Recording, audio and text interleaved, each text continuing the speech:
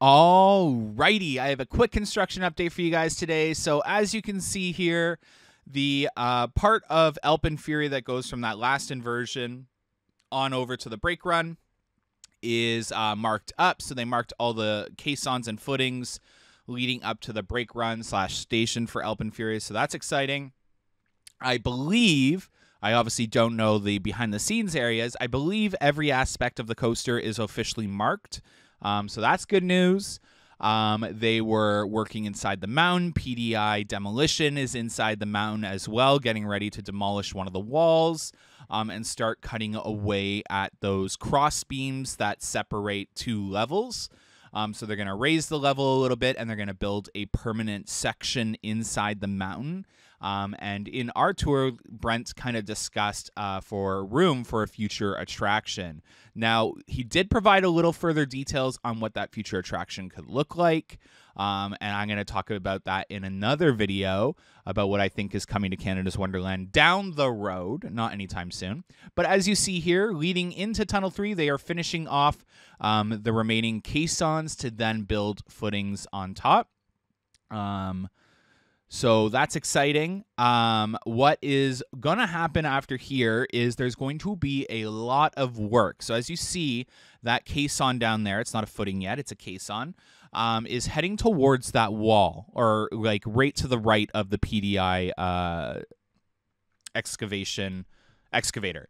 So they're going to remove that wall and it's going to start angling upwards. It starts to launch upwards like you see in the animation. If you've been inside, and I'll, I'll insert the clips in the tour, the distance of launch is a lot smaller than you think. So this is going to pack a really big punch. Um, but what's interesting is the amount of work that still needs to take place inside the mound. So it's going to be really interesting to see how this takes place. Um, there is some kind of like work. I obviously they're not going to do it all because they have the entrance to the ruins um, with some support columns that have to go in there, and they've already marked those off. So I'm really curious to see how they're going to do this construction phase over the next month. The next 30 days is going to be a lot of work that needs to take place, but a lot of it's going to be inside the mountain. We should start to see some work over uh, heading out um, beside International Showplace towards Extreme Skyflyer. Um, I have heard they are going to start construction this week on that plot of land in terms of the caissons and footings. So hopefully, fingers crossed, we start to see that. So there's some really cool things to at least show you guys um, visually on the outside of the mountain. Um, and it's not all just peeking through a hole for construction updates over the next 30 days. Um, but, anyways, super excited for the content that I have um, written down here that I'm going to be working on for the next week as uh, my speculation videos are going to come back. So, I have my 10 year plan ready to go um, with some pretty concrete information um, and then my predicted ride removals. I know I've seen a lot of you comment on what's been missing out of the rendering, the POV of AlpenFury, and I just want to say, don't take that seriously. There's a lot of rides missing from that animation, so it is not a hint.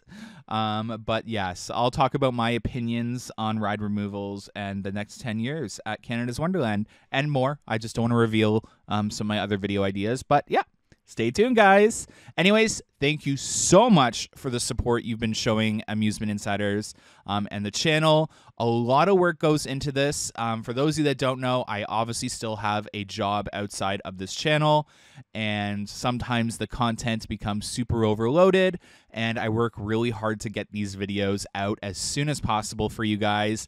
Um, otherwise, they'll just pile up. And honestly, uh, the views and the comments and the likes have meant a lot, especially this last couple weeks. Um, and I promise you that I will continue to do all this work for you guys. If you're looking for drone coverage, um, right now it is going to be Patreon exclusive.